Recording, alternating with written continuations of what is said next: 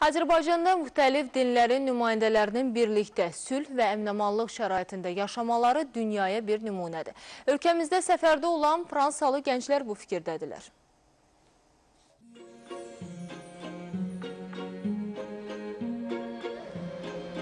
Gənclər və İdman Nazirliyi və Azərbaycanın Fransadakı səfirliyinin təşkilatçılığı ilə Fransanın aparıcı qəzet, sayt, televiziya müxbirləri, hüquq mütəxəssisləri, idmançılardan ibarət nümayəndə heyəti Bakıda səfərdədir. Onlar səfər çərçivəsində ölkəmizin zəngin mədəniyyəti ilə tanış olub, milli mətbəximizin təamlarından dadıblar. İxtisasçı vəkil olan Benjamin Velius Azərbaycandakı nümunəvi tolerantlıq mühitini və gender bərabərliyini yüksək dəyərləndirir.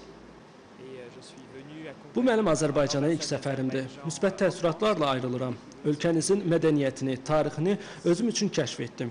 Burada müxtəlif dinlərin nümayəndələrinin birlikdə sülh şəraitində yaşamaları məni çox sevindirdi. Hesab edirəm ki, Azərbaycan regionun və dünyanın bir çox ölkələri üçün nümunə ola bilər. Gender bərabərliyi, dini ayrı seçkiliyin olmaması mənim üçün önəmli faktlardandır. İpək yolu layihəsi üzərində çalışan Latif Kellogi isə deyir ki, Azərbaycana səfəri onun üçün gözəl fürsət oldu. Artıq üç gündür ki, Azərbaycandayıq. Müxtəlif yerlərdə olduq. Təəssüratlarım zəngindir. Mədəniyyətinizlə tanış oldum. Milli mətbəx nümunələrinizi daddım. Azərbaycan haqqında gəlməmişdən əvvəl məlumatımız var idi. Çünki İpək yolu layihəsi üzərində çalışıram. Fransada İpək yolu üzərində keçən ölkələr barədə müəyyən məlumatlar toplamışam. Sevinirəm ki, ölkənizə səfərim zamanı Azərbaycanı gördüm və tanıdım.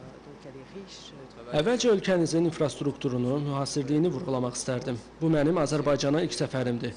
Ölkəniz barədə məlumatlarla tanış idim.